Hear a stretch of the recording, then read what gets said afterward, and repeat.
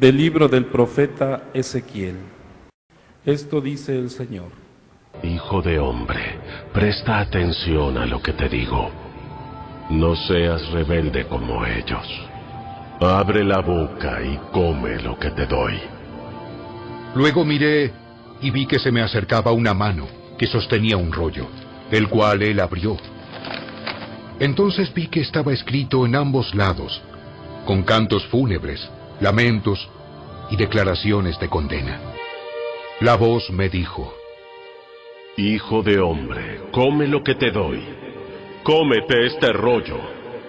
Luego ve y transmite el mensaje a los israelitas.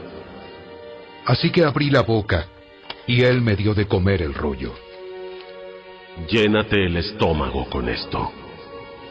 Al comerlo, sentí un sabor tan dulce como la miel.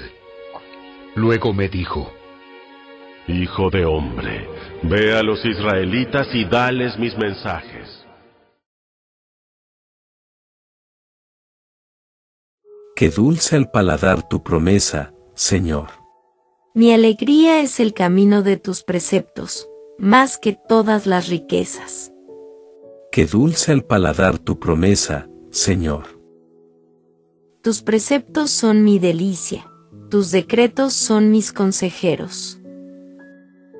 Qué dulce al paladar tu promesa, Señor. Más estimo yo los preceptos de tu boca, que miles de monedas de oro y plata. Qué dulce al paladar tu promesa, Señor. Qué dulce al paladar tu promesa, más que miel en la boca.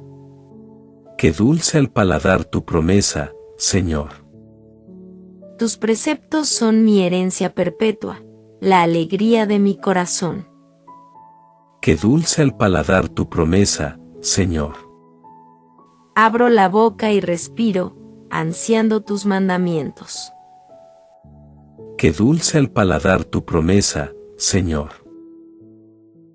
Evangelio según San Mateo.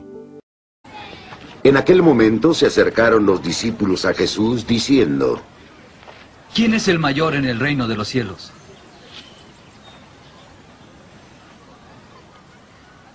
Él llamó a un niño, lo puso en medio de ellos y dijo, Yo os aseguro, o cambiáis y os hacéis como los niños o no entraréis al reino de los cielos. Quien se haga pequeño como este niño es el mayor en el reino de los cielos.